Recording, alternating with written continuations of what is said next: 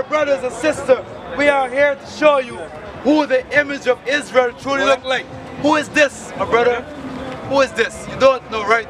But we don't know either, because this is Cesar Borgia. Peace. This is Jesus. Peace. Let's show you what Jesus That's looked right. like in the Bible. The book of Revelation, chapter 1, verse 14. The book of Give me Revelation, one more. Chapter 1, verse 1. Listen this, my brother. The revelation of Jesus Christ. The Bible said this is the revelation of Jesus the Christ. Read on. which God gave unto him to show unto his servants. So God gave the image to show unto his servants. Now who is God's servants? The book of Leviticus 25, 55. Listen to who God's servants are, sir. The book of Leviticus, chapter 25, verse 55. For unto me, the children of Israel. The children of whom? the children of Israel. The children of Israel are servants. are servants. Everyone in that church, God says, are servants. Read on. To show unto his servants To show to the children of Israel. things which must shortly come to pass. Right. Jump straight to the image of Christ. The book of Revelation, chapter 1, verse 14. So the good sir said, this is Christ. But let's see if the Bible say this image is in the Bible. Read. His said, and his ears were white like wool. So the first thing we notice that his hairs is straight and it is blondish in color. But God said his hair and his hair on his head, his head and his hair, facial hair and hair on his head is white. But the texture is like what? like wool. Like wool, like cotton wool, like sheep's, like sheep hair. So process of elimination, read. Yeah, as white as snow. it was white as snow, no whiteness, no wooliness. Read on. And his eyes was a flame of fire. His eyes is green or gray or blue, similar to your eyes in color. Read. and his feet like unto fine brass. So the Bible said that when John looked down at Christ's feet, his feet looked like fine brass. B R A S S. What color is brass, sir?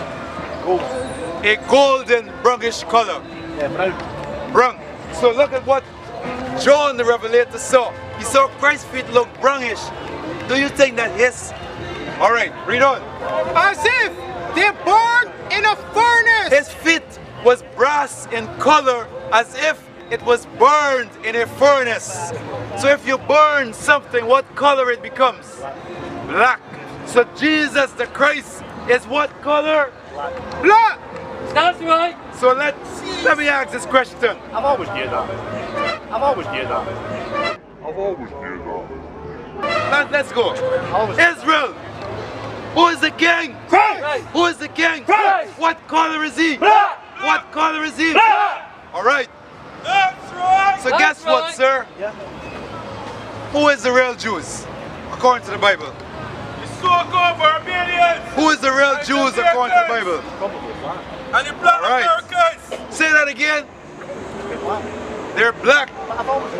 See that there, the good sir had said, spoke the truth. He said, Israel is black.